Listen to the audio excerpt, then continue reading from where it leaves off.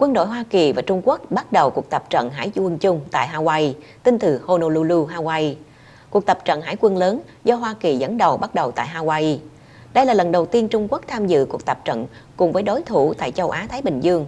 Hôm thứ Hai, các nhà lãnh đạo của cả hai quân nhân, Hoa Kỳ lẫn Trung Quốc, cùng nhau tổ chức một cuộc họp báo tại Trân Châu Cảng ở Hawaii để mừng sự khởi đầu của cuộc tập trận.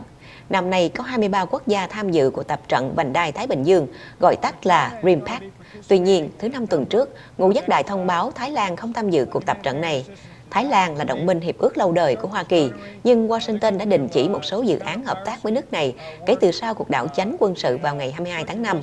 Trung Quốc đã gửi 4 tàu chiến đến tham dự cuộc tập trận RIMPAC kéo dài đến ngày 1 tháng 8, bao gồm tàu khu trục có hỏa tiễn dẫn đường Hải Khẩu, một tàu hậu tống có hỏa tiễn dẫn đường Nhạc Dương, một tàu cung ứng đa nhiệm và một tàu bệnh viện cùng 1.100 binh sĩ tham gia.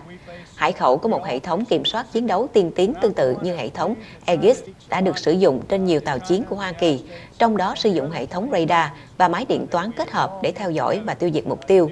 Tàu Trung Quốc gặp tàu chiến của Hoa Kỳ, Singapore và Brunei trước khi đến Hawaii.